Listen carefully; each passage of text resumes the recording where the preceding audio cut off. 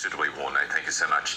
We just want to bring you some breaking news. We're receiving about a house fire in the Pilbara last week in which three children died.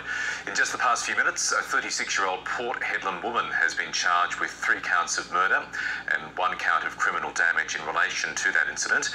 The fire last Tuesday shocked the community. The children were aged 10, 7, and 5 months. More on that story as it comes in.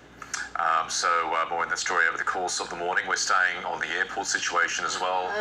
Ash, uh, delays left, right, and centre, and it's going to be a while before airports, not just in Australia but around the world, get through the current set of challenges. Absolutely. They're facing worker shortages like everywhere else. And I'm getting some live updates this morning from my mum who's going through Brisbane Airport and she said there are really long lines to even get to security, to go through security, to get to the gate. So it's no wonder we're seeing those figures. Like in Melbourne last month, only 45% of planes left on time. Sydney, 54. Mm. It's Wow. just, yeah, it's pretty bad. So prepare, take a book.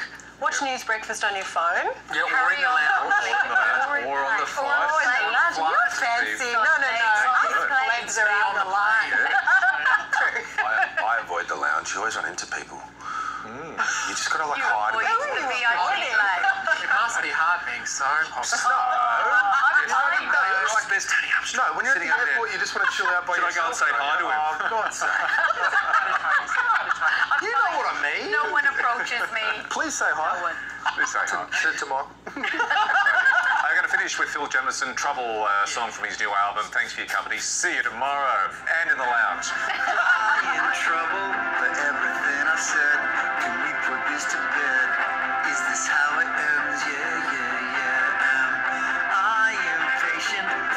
see